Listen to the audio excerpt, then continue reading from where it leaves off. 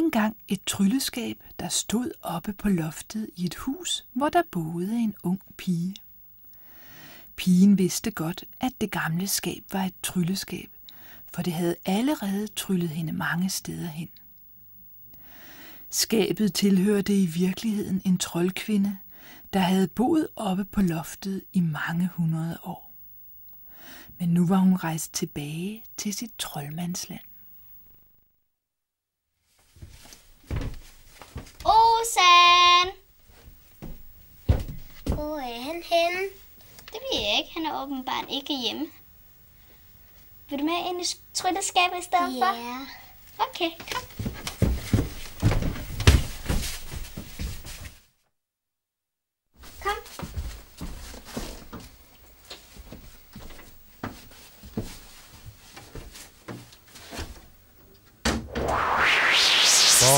Bot, bot, bot, bot, bot. Bot, bot, bot, bot.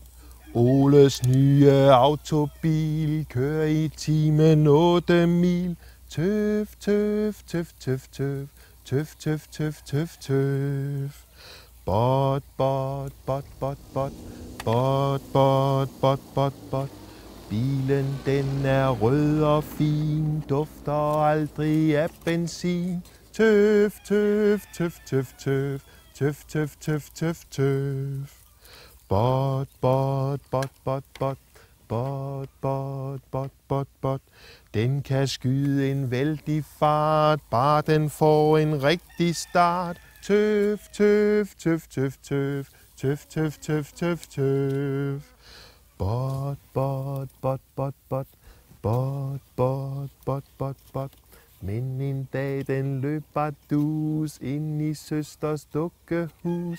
Tøf, tøf, tøf, tøf, tøf, tøf, tøf, tøf, tøf, tøf. Bot, bot, bot, bot, bot, bot, bot, bot, bot, bot. Dukkefar og dukkemor sad så pænt ved kaffebord. Tøf, tøf, tøf, tøf, tøf, tøf, tøf, tøf, tøf, tøf. Bot, bot, bot, bot, bot, bot, bot, bot, bot, bot. Kaffe, tår og porcelæn, flød på duen, ren og pæn. Tøf, tøf, tøf, tøf, tøf, tøf, tøf, tøf, tøf, tøf. Bot, bot, bot, bot, bot, bot, bot, bot, bot, bot. Og den stakkels dukkefar, nu han ingen hoved har.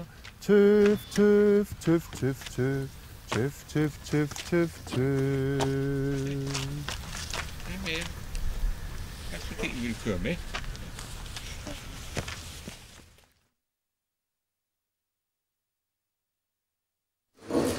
Det må være værksted. Her lugter der i hvert fald af benzin.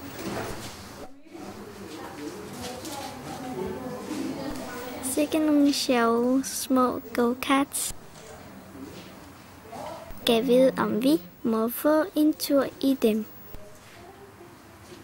Så skal vi i hvert fald have en hjelm på.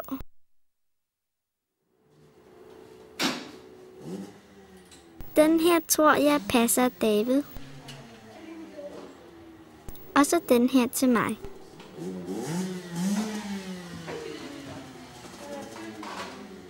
Den her flotte røde køredragt låner jeg lige. Den er lidt for stor, men pyt med det.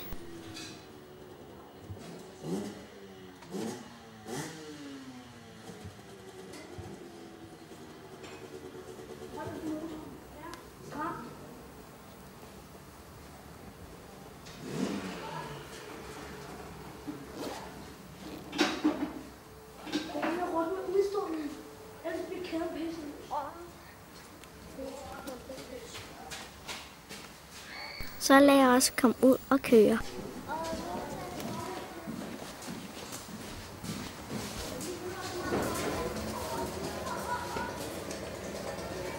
Fat i rettet og tryk på speederen.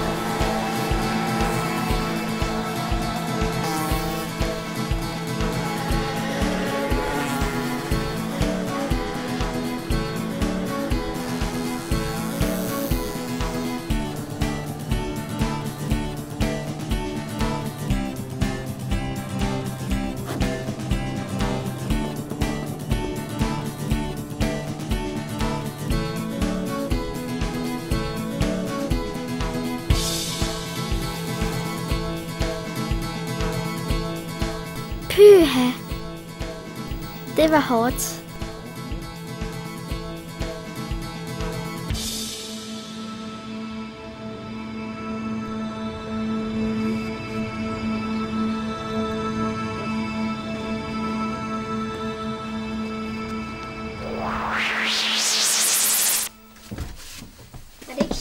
Jo.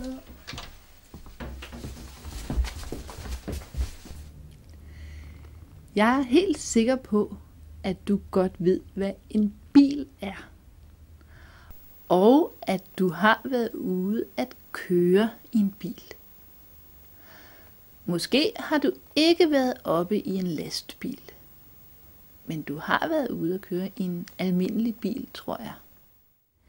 Vi har alle sammen brug for at komme rundt omkring i verden.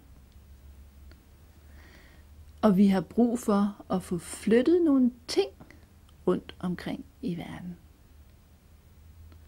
Og når vi flytter store ting, bruger vi lastbiler. Men mennesker har ikke altid haft biler. Faktisk har vi kun haft biler i omkring 100 år. Men der har jo været mennesker på jorden i mange, mange flere år. Så hvad gjorde vi, før vi havde biler? Ja. Mennesker har brugt deres fødder først og fremmest til at komme rundt med.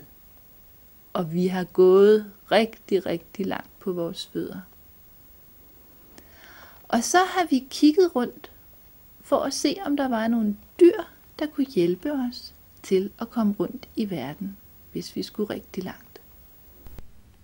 Og i nogle lande har de måske fået øje på heste, og så har de tæmmet hestene, fordi at de kunne bruge dem til at ride på. I andre lande har de måske fået øje på elefanter og fundet ud af, at de kunne ride på elefanterne. Og i andre lande igen, kameler. Man kan godt ride på kameler. Og der er også nogen, der har fået øje på hunde. For man kan ikke ride på en hund, men en hund kan trække en slæde. Hvis du har mange hunde, så kan de trække en slæde over isen.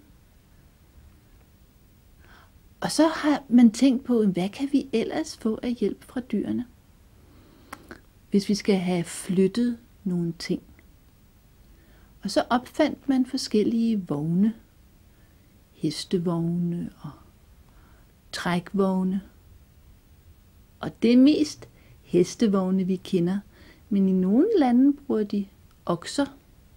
Okser, det er en slags køer, der også kan trække vogne, hvor man kan putte en masse ting op på. Og æsler kan også trække en lille vogn. Det er nogle stærke små dyr. Og det har man gjort i mange, mange hundrede år. Brugt dyr på den måde til at trække vogne.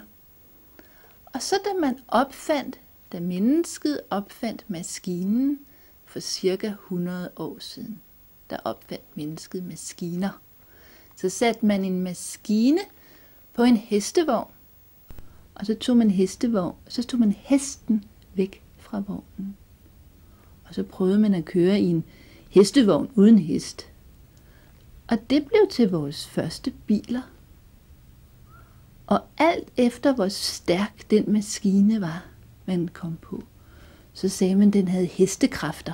Om det var to hestekræfter eller tre hestekræfter, efter hvor mange heste. Det var ligesom, der trak den bil. Og de kører jo meget hurtigere end hestevogne, bilerne i dag. Men man tæller stadigvæk i hestekræfter.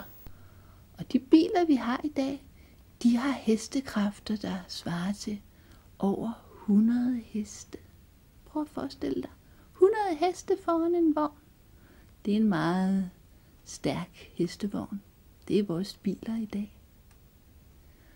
Og lige om lidt, så hører vi en historie om en helt anden måde at komme rundt på, som hverken har noget med hestevogne eller biler at gøre. Det er faktisk en gryde, der kommer rundt i verden. Den kan du høre nu. Pimpegryden. Der var engang en mand og en kone, som boede i et lille hus langt ude på heden. Jorden havde de lejet af herremanden, og den skulle de hvert år betale for. Men en gang slog høsten fejl, og laden brændte, så de måtte sælge de få køer, de havde, undtagen en.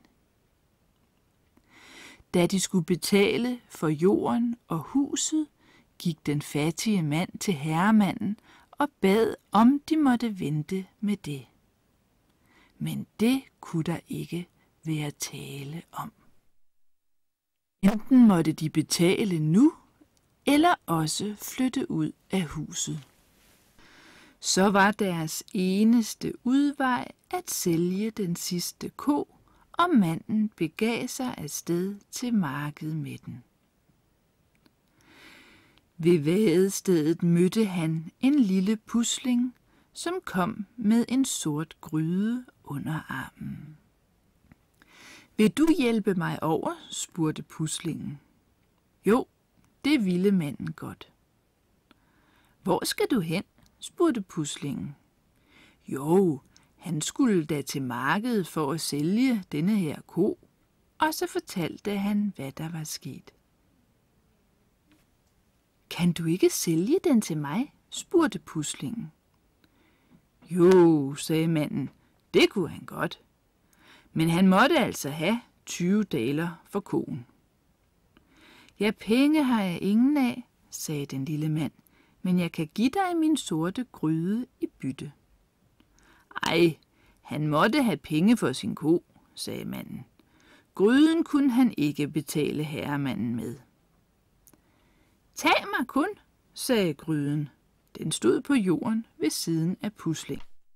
Hvad, sagde manden. Kan gryden snakke? Da han vendte sig om for at se efter puslingen, var han forsvundet og havde taget koen med sig. Så var der ikke andet at gøre. Manden måtte tage gryden og gå hjem med den i stedet for de 20 daler. Men da han nåede huset, turde han ikke komme ind til konen med den lille sorte gryde. Derfor gik han ud i kostallen og bandt den i båsen, hvor konen havde stået. Så gik han ind i stuen. Nå, sagde konen, fik du solgt konen? Jo, den er da blevet solgt. Det var dejligt, sagde konen. Så kan vi få betalt vores jord og vores hus, og lidt penge til et stykke flæsk bliver der vel også. Ej, penge fik han nu ikke for konen, sagde manden. Hvad fik du så? Ja, hun kunne jo gå ud og se i kostallen, sagde manden. Og da konen kom ud i stallen, stod der ikke andet end den lille gryde. Og jeg skal hilse og sige, hun blev gal og begyndte at skælde ud. Aldrig havde hun set mage til fjols. At bytte en god ko for en sort gryde. Skur mig og læg mig på hylden, sagde gryden. Og der kan det nok være, at konen gjorde store øjne. Hun fik fat i gryden, skurede den og lagde den op på hylden til de andre gryder. Om morgenen, da konen skulle til at koge lidt grød til morgenmad, var der kun en lille smule mel tilbage. Mens de sad ved bordet, sagde konen, havde vi bare nogle af de brød, som de plejer at bage til morgenmad oppe hos herremanden. Jeg pimper, jeg pimper, sagde den sorte gryde oppe på hylden. Hvor pimper du derhen, spurgte konen. Til herremandens gård, til herremandens gård. Ja, pimp du kun, sagde konen. Og før hun fik set sig om, var gryden ude af døren. Oppe på gården var de netop ved at tage brød ud af ovnen, da gryden kom og stillede sig an på bordet. Sikke en dejlig lille gryde, I har stillet hen til brødene, sagde konen. Hun stak brød ned i den, og det kunne godt være der. Så stak hun et til ned, og det kunne også være der. Sådan blev hun ved, til alle brødene var kommet ned i den sorte gryde.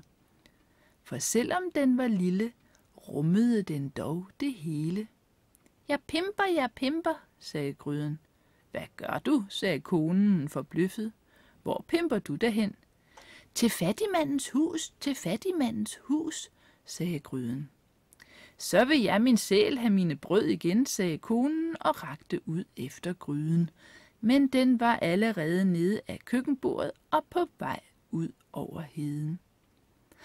Da gryden kom hjem til den fattige kone, kunne hun nok se, at der var noget i den. Og da hun tog brødene op, var der så mange, at de havde til lang tid. Skur mig og læg mig på hylden, sagde gryden. Det gjorde konen, og der lå gryden til den næste morgen. Mens manden og konen sad og spiste af den rige mands brød, sagde konen. Du skulle vel se og få tærsket lidt korn, så vi har noget at koge grød af. Det er ikke store sager, der er til rest, sagde manden. Jeg pimper, jeg pimper, sagde gryden oppe på hylden. Hvor pimper du derhen? spurgte konen. Til herremandens lå, til herremandens lå, sagde gryden. Ja, pimp du kun, sagde konen, men der var gryden allerede ude af døren. Oppe hos herremanden var de ved at tærske ro den dag, og de hældte det i tønder efterhånden, som det var renset. Sikke en herlig lille gryde har står, sagde en af mændene. Lad os hælde ro i den også. Og så hældte de en skæppe i, og de hældte to skæpper i, og sådan blev de ved, til alt kornet var kommet ned i gryden. For selvom den var lille, rummede den dog det hele. Jeg pimper, jeg pimper, sagde gryden. Hvad gør du, sagde mændene måbende. Hvor pimper du derhen? Til fattigmandens hus, til fattigmandens hus. Så vil vi spille med have vores korn igen, sagde mændene, men gryden var allerede ude af lån og forsvundet over heden. Da gryden kom hjem, fik de travlt hos den fattige mand og kone med at bære ruen op på loftet og brede den ud. Nu havde de mel til resten af året. Skur mig og læg mig på hylden, sagde gryden, og det skete. Næste morgen, da manden og konen sad ved morgenmaden, sagde manden, vi får vel sælge noget af kornet, så vi kan få betalt herremanden. Det må vi vel, sagde konen. Jeg pimper, jeg pimper, sagde gryden. Den var allerede på vej ned af hylden. Konen nåede ikke at spørge, hvor den pimpede hen. Den var allerede forsvundet. Den morgen var det et dejligt solskinsvejr, og herremanden havde taget alle sine penge udenfor, så de kunne nyde godt af solen. Han var bange for, at hans penge skulle ruste, og hans pengesedler skulle mugne. Han talte sine penge og så sig om efter noget at komme dem op i. Og så stod gryden jo der. Tom og lige tilpas for herremanden til at komme sine penge op i. Han slog den ene håndfuld i efter den anden, og sådan blev han ved, til alle pengene var kommet i gryden. For selvom den var lille, rummede den dog det hele. Jeg pimper, jeg pimper, sagde gryden. Hvad gør du, sagde herremanden. Hvor pimper du hen? Til fattigmandens hus, til fattigmandens hus, sagde gryden. Så vil jeg min sæl have mine penge tilbage, sagde herremanden. Men gryden pimpede hen over heden med hele herligheden. Da den kom hjem, fik de travlt med at tælle pengene og gemme dem af vejen. Nu havde de fået god betaling for konen. Skur mig og læg mig på hylden, sagde gryden, og så lå den stille til næste morgen. Da konen kom ud i køkkenet, råbte gryden. Jeg pimper, jeg pimper. Hvad pimper du nu ad, spurgte konen. Af herremandens køkken, af herremandens køkken, sagde gryden, og borte var den. Oppe på herremandens gård stod den lille gryde på bænken, da konen kom op. Og hun ind til manden, som endnu lå i sengen, mens hun skreg. Her er den gryde, som pimpede af med vores brød og vores korn og vores penge. Da for manden op af sengen og ud i køkkenet, mens han råbte, Da skal jeg sandelig knuse den gryde. Og så satte han sig bred og mægtig på den lille gryde. Jeg pimper, jeg pimper, sagde gryden. Ja, pimp du er helvedes til, sagde herremanden og tyngede ordentligt til. Af helvede til, af helvede til, sagde gryden, og så fløj den afsted med herremanden. Og lige meget, hvor meget han rykkede i gryden for at få den til at slippe, så sad den som groet fast. Den pimpede hen over gården og langt ud på heden, og der forsvandt den med herremanden, og det sidste de så af ham var hans flagrende skjorte. Den fattige mand og hans kone levede lykkeligt til deres dages ende, og hvis de ikke er døde, så lever de endnu. Og snip, snap, snude, så er det eventyr ude. Billedlotteri Go-kart.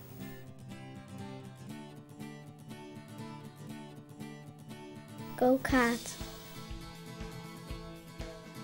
Styrthjelm.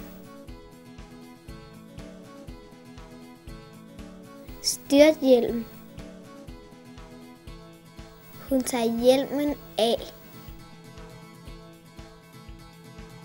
Hun tager hjelmen af. Køredragt. Køredragt. Go-kart-bane. Go-kart-bane. De kører på banen. De kører på banen. De holder stille. De holder stille. Kædeldragt. Kædeldragt. Han kører hurtigt. Han kører hurtigt. Den kører langsomt. Den kører langsomt. Flag.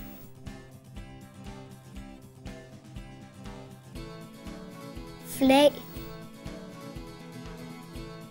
Ret.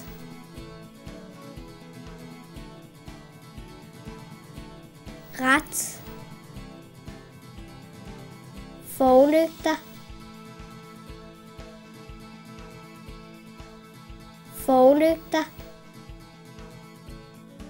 Chauffør.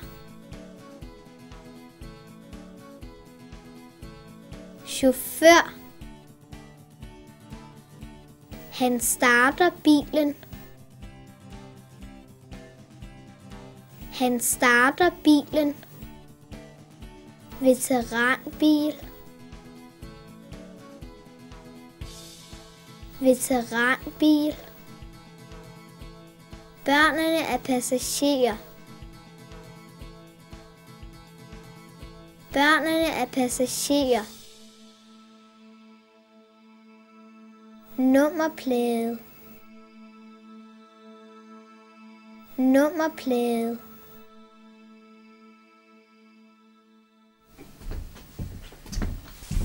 Hej Hej. Har I været igennem trylleskabet? Ja, det har vi. Mig og David.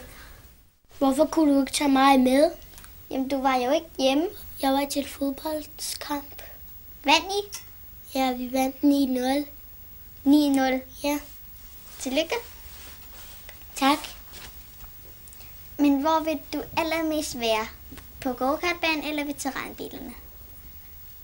Go-kart. Pæn. Jeg synes, det var sjovt på veteranbilerne. Kan du lege igen i morgen? Ja, det kan jeg godt. Hej hej!